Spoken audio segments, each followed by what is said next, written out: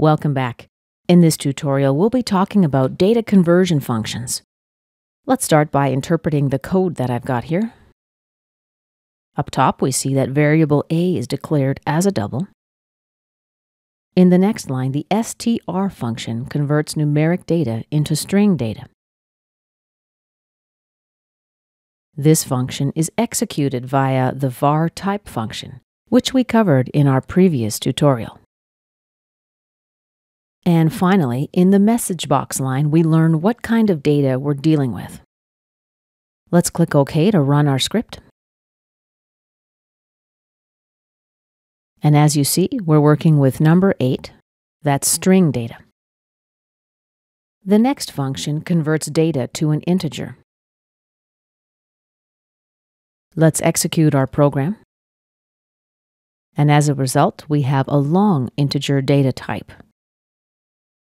Before I start my next example, I want to show you here the various data conversion functions.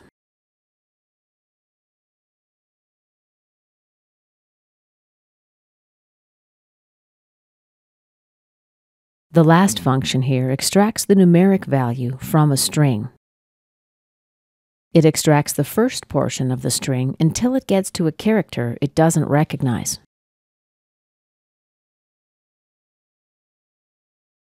Let's declare our variable as a string here. We need to put a string in double quotations. Now let's complicate the string with some other characters, the period, a space, additional letters, and numbers. Let's close the double quotation. So here's the period and the space. Let's execute our program to see what happens. As you see, the program recognized the period and removed the space as well. This concludes our tutorial about data conversion functions.